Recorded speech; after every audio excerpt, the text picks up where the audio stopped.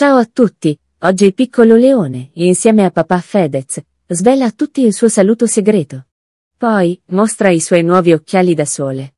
Ci vediamo domani con il video completo alle 13.30, buona visione.